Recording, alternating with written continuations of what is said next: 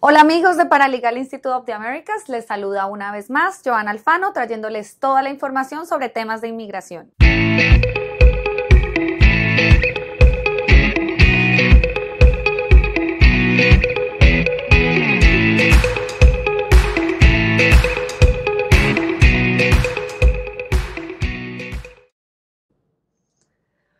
Bueno, hoy vamos a hablar un poco sobre la autorización de permiso de trabajo para personas que están aplicando por asilo político. Como muchos de ustedes saben, las personas que aplican por un asilo político deben esperar un periodo de 150 días antes de poder hacer su solicitud de permiso de trabajo. Una vez que hayan enviado su solicitud de asilo, van a recibir un documento donde el Departamento de Inmigración va a dar acuse a esa aplicación de asilo y se van a fijar en esa fecha. Una vez que hayan pasado 150 días, desde esa fecha estas personas pueden hacer su solicitud de permiso de trabajo usando el formulario I-765.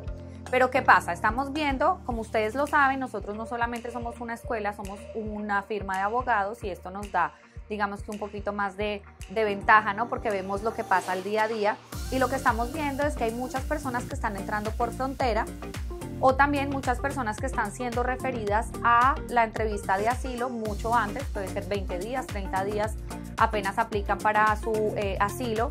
Es decir, que a muchas personas les dan un referido a la corte, las personas que van a la entrevista de asilo y no les pueden aprobar allí porque no tienen suficiente carga probatoria, los van a referir a la corte y en ese tiempo se está viendo, digamos que un fenómeno no debería ser así, pero está pasando muchísimo y es que al referir el caso a la Corte, ese conteo de los 150 días se está deteniendo.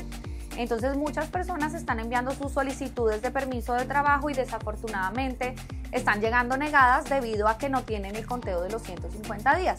Bueno, pues para este primer caso, este primer fenómeno, tenemos digamos que una serie de recomendaciones para que sigan antes de enviar su solicitud de permiso de trabajo y evitar que sea negada. Entonces, lo primero que deben hacer es una vez que estas personas son referidas a la corte, es decir, el expediente ya sale de las manos de USCIS, el Departamento Administrativo de Inmigración pasa a la Corte de Inmigración, que es otra entidad, que es EOIR. EOIR quiere decir Executive Office for Immigration Review, es la parte, digamos que judicial de inmigración. Entonces, en, ese transfer, en esa transferencia parece ser que hay como una, una cierta falencia y muchas de estas aplicaciones están deteniendo ese conteo. Entonces, antes de enviar su aplicación de permiso de trabajo, ustedes pueden llamar, hay una línea que es gratuita, es el 1877-898-7180. Ese es el número de la Corte de Inmigración. Ahí ustedes van a introducir su número de extranjero, es un número que empieza con la letra A o alien number. Van a introducir su alien number y van a, a, escoger la opción que dice for case processing information para procesamiento de caso. Ahí ustedes pueden elegir también la opción de llamar en español. El sistema es un sistema automatizado que está en español, en inglés y en creol. Entonces pueden escoger el idioma en el cual se sientan más cómodos y allí les va a decir cuántos días están corriendo para este conteo de los 150 días del permiso de trabajo. Asegúrense que ya tengan los 150 días. Asegúrense de llamar tal vez todos los días para ver que sí está corriendo ese conteo antes de enviar el permiso de trabajo y evitar de esta forma que les llegue negado. Bueno, para aquellas personas que están siendo referidas a la corte, eh, es muy importante que busquen asesoría legal.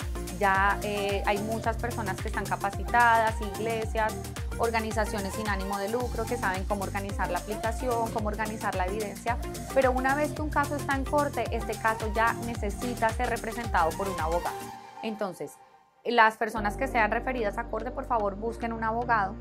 Hay una forma de eh, volver a reactivar ese conteo de los 150 días haciendo una carta dirigida al administrador de la corte, al court administrator, pero ustedes saben que ya en casos de corte sí o sí necesitan un abogado. Entonces es muy importante que ubiquen un abogado, que consulten y encuentren un abogado con el cual ustedes se sientan bien cómodos. El próximo fenómeno que está pasando es que muchas personas están ingresando por frontera. Entonces, lo primero que hay que aclarar es que las personas que ingresan por frontera son personas que empiezan un proceso de asilo defensivo. Ya en algunos videos hemos explicado que el asilo se divide, digamos, en dos fases o puede desarrollarse en una fase defensiva que es a través de las cortes y se puede desarrollar en una fase afirmativa, que es la parte, digamos, administrativa.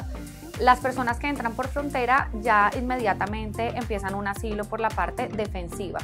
Entonces es muy importante que para efectos del permiso de trabajo, que es el tema que estamos hablando, eh, para este conteo de los 150 días, la aplicación de permiso de trabajo debe radicarse tanto con USCIS como con EOIR, Executive Office for Immigration Review, para que eh, se pueda empezar ese conteo. No es suficiente enviarla solamente a USCIS, hay que enviarse a, eh, a las dos entidades y para poder radicar eh, cualquier tipo de escrito o aplicación con EOIR hay que seguir una serie de pasos y hay un, manual y unas instrucciones específicas que hay que seguir, pero para eso, como les recomendaba anteriormente, es lo mejor es buscar un abogado para evitar demoras.